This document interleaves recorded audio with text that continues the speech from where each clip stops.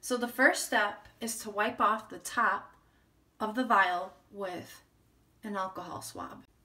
Then you're going to go ahead and take this yellow pack or the 20 gauge needle to go ahead and draw up what's inside of the vial.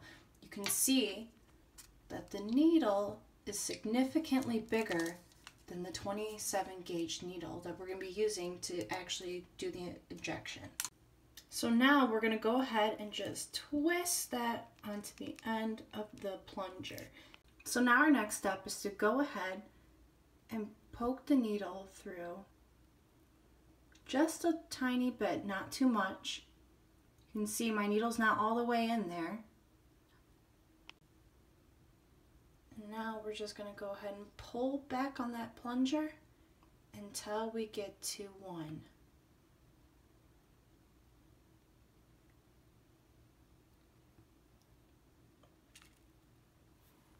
So now we're taking the 27 gauge needle. Again, like we said before, it is a lot smaller, so that's definitely the one that you want to be injecting into yourself.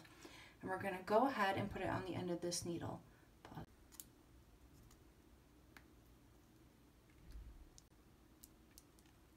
And just like before, it is another Luer lock needle, so it just twists right in. So as you can see, it's very simple and very easy to do on your own. It's not nearly as complicated or as scary as it looks. So for this next part, I'm gonna go ahead, sit down, get myself comfortable because when you're doing the injection, you don't wanna have any pressure on the leg. You just wanna go ahead, sit back and relax. Now we're gonna go ahead, go along the side of the leg, just right above that kneecap and right underneath the middle of the thigh. We're to grab, get a good hold on it.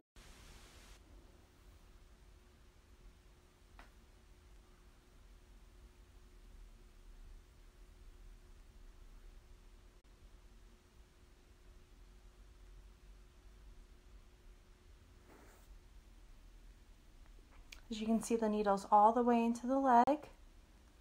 And we're done.